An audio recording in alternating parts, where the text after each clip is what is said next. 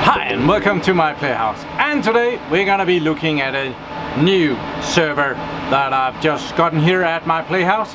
Um, today has been scorching hot which means that the data center is pretty warm. So I'm gonna keep this as short as possible and just give you an, um, a bit of an overview of this server that has just dropped in. Um, it's right here, kind of can't see anything yet but this is the awesome IBM slash Lenovo X3650 Model 4 but it's a special version of the Model 4 so um, let's go to the table ish and see what we have.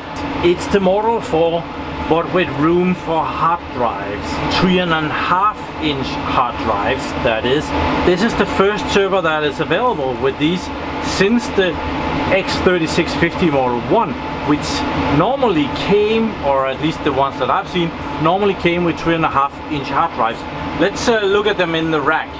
Up here we have some Model 1s and they have these hard drives and these are three and a half inch hard drives. Uh, the server was available with two and a half inch hard drives. Um, I don't have any of those, but they were available.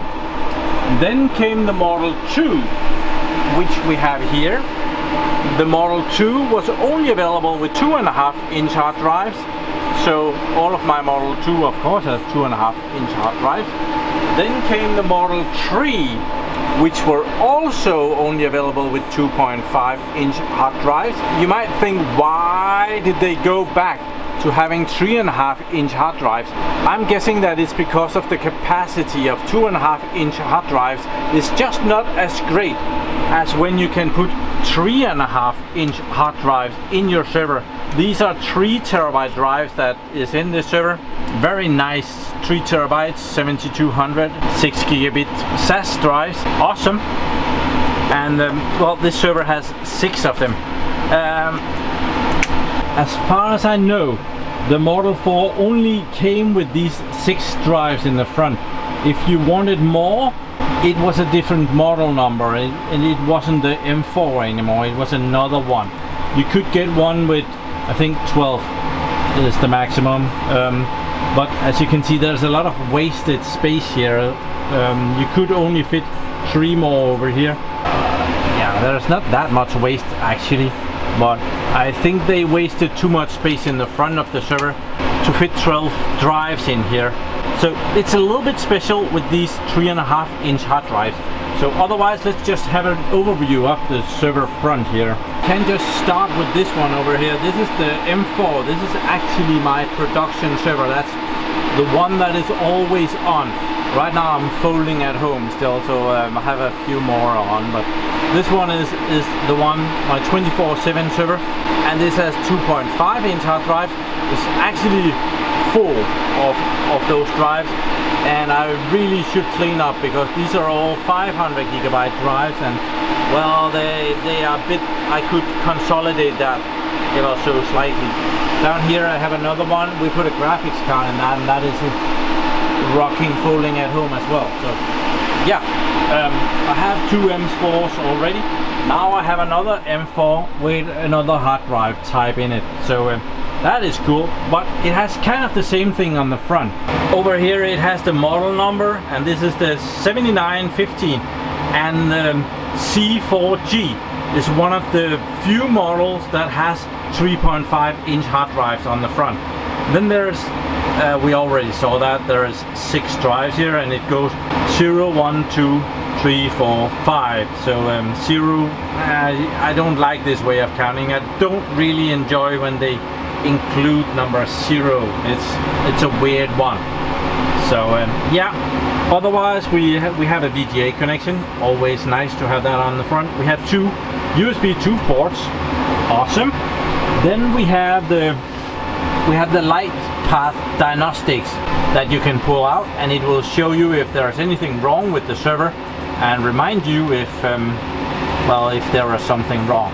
So uh, yeah and all the codes here are on the inside of the LED and tells you what NMI is or over spec Um, you don't have to know that.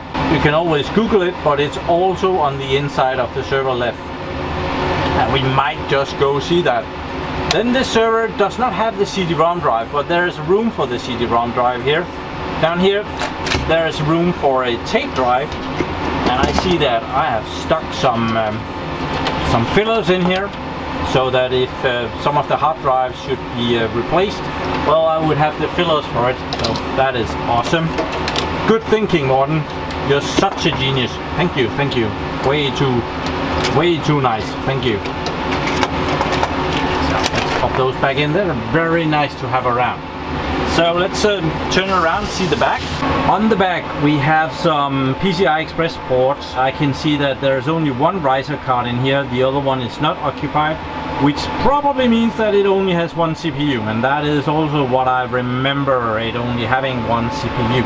And over here first we have four network connections, network 1, 2, 3, 4, and the IMM2 adapter here. Then we have the VGA connection on the back, we have a serial connection. I almost never use those. Then we have some um, LEDs hidden away in here. We have the power LED, the light tower and the exclamation mark for if there's something wrong. We have a special port here for more network connections. Uh, 5 and 6 can go in a slot here, uh, daughter board on the, on the motherboard. And then we have four USB 2 connections over here and a redundant power supply solution. We have two power supplies, 550 watts. Good old, well, 80 plus platinum power supplies. Awesome. Good redundant solution. Very nice and steady server. So um, let's uh, let's check it out inside. See what this server brings. Let's try and open up Sesame. There we are. There's a lot of good stuff in here. Let's check the riser card first and see what we have. We have the usual suspect here. We have a three X16 PCI Express 3 ports, but each of them is only 841, so these are not real X16, so not optimal for like graphics card. It's a bit of a shame. I have quite enough of these. I rather want the one with the X16. Then we have the new stuff over here. We have this backplane for the three and a half inch hard drives, which is different from what we're used to. We usually have those backplanes like this for uh, two and a half inch hard drives um, that, that goes in here. And this backplane is, is all the way so it's full size and it's not separated. And we, we have the normal big beefy coolers. So very nice. Um, as there is only one CPU in here, you can also see the second riser card over here. There's still plastic over that. So um, there is a blank because when the second CPU is not installed, you put in a blank, you don't need that much airflow when that's the case. We have some cabling here, uh, power for the hard drives. These probably use a fair amount of power. It's a big beefy connector that goes down here I am not sure that is the same on the other one. I really don't remember. See that beefy connector down there for the hard drives? That's, um, that's a big one. Let's see if we can get this plastic out of the way. So this uh, machine has been used as a kind of a storage server, so there's not much in it. The, the drives in front of it was the main purpose of it. So it has a smaller CPU and it only has two blocks of memory down here and they are fairly small. As a small storage server, six times three terabytes, so like 18 terabytes of data that it has been managing. Here is the LED of the server and actually what I wanted to show you was the light path diagnostics. Um, it tells you what the different stuff is on the light path diagnostics and um, if it lights up, recommended action and so on. Also very important for this server is the RAM configuration. There is a RAM configuration if there's one CPU and there's a RAM configuration if there's two CPUs. So otherwise uh, changing fans, power supplies, overview of the system board down here, all good stuff. Oh, common replacement parts if you should ever need anything. These uh, IBM slash Lenovo numbers out here are very good for eBay searches or if you should happen to buy something at Bargain Hardware. Oh, let's wait for the for the end. So this server has a very nice built-in RAID controller on the system board and it is um, it's getting a little more boost from this cache controller down here which I have done videos on. It's a little extension board that you put in. It, um, it has some cache and it also often enables like RAID 5, RAID 6 and other high-end features like flash caching, I forget. But it also has a battery and that battery runs up here and goes into this plastic thing and it lives right there. There's the battery. Plus some extra battery cable. Very nice of them to put that in there. Cool. I forget what CPU is in here. I think we need to check that. So let's just pop that out of there. There. Original. You can kind of see if it's original if there's these little um, squares here. I don't know if you if we focus on that but well this is original cooling compound so I'll get rid of that. Okay so here is the CPU um, you are seeing it sideways but you can clearly see that this is an Intel Xeon E5 2640 version 2 so this is an 8 core CPU it uh, well it says 2.0 gigahertz uh, normal speed. It can turbo boost up to 2.5 gigahertz and it has a TDP of 95 watts. So it's a it's a fairly good CPU for for being a storage server. To support that we have two blocks of memory. I believe this is 8 gigabytes. Yes 8 gigabyte DDR3 RAM 12800R. I believe this is about 1600 megahertz. Uh, so uh, yeah, and uh, according to the LED, that was supposed to be in slot number one and slot number four, and that looks great. No problem there. So I think we should put some new cooling compound on here, uh, some fresh stuff. And this CPU cooler is the one that is rated for uh, 95 watts. If you need more than that, they have one that is made of copper and can do some more wattage. So uh, let's pop that back in and I think we'll just put that in and we'll see if it spreads that well enough. Yeah, it's spread all over the place. Cool. There we are. Nice. This is the first server that, that I had that was really good to put in a graphics card. I had the M3 and the M2 where it is possible to put in a graphics card but they weren't really done very well. There were the the unicorn of riser cards available for them. They have one with an X16 but it, it was so rare that um, well it's almost impossible to find it. Um, but in this one they actually put in X16 slots so you can put graphics cards in here. There is a little bit of a problem with uh, not enough wattage in these but maybe they have fixed it in here. They don't actually say how many watts are available here but the normal thing is that if it's an X8 then you have 25 watts. If you have an X16 you have 75 watts. So uh, there's a 50 watt difference. I am not sure what the wattage are on these. That would be interesting to try sometime. But this is the first server where it was easy to put in a graphics card.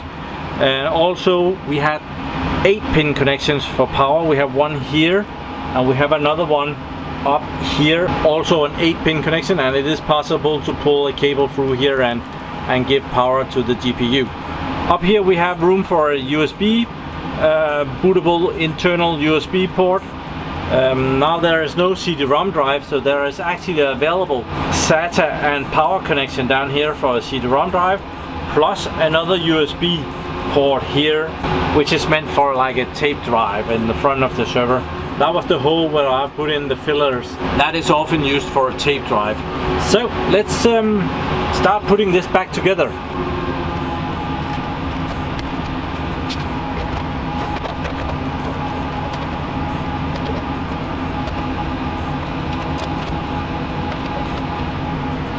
There that wasn't hard at all. So have we forgotten anything interesting here? Better view of this cache extension card down here. It kind of plugs into the system board and and gives you more options. So that is cool but the, the RAID controller is on the system board but this card gives it more functions. So yeah. There's another port here available. That was uh, network card number 5 and 6 and for that you can get a 10 gigabit card that you can pop in here and give the server a 10 gigabit network option. I have that in one of my servers. So is the M4 worth to get? Yes, it is. If you can find the M4 as a, at a reasonable price, definitely get it. It's a great server and it uses the E5 2600 series CPUs and it will run with the version 1 and the version 2. It will not run with 3 and 4. If you want those, you need the Model 5, which is still bloody expensive. M4 you can get you can get for a reasonable amount of money. If you want to go cheaper than that, there is the M2 and the M3. Not much different between those two servers, uh, but they um, they kind of use the Intel Xeon X5600 series of CPUs and uh, also the 5500 series of CPU. The M2 has some limitations.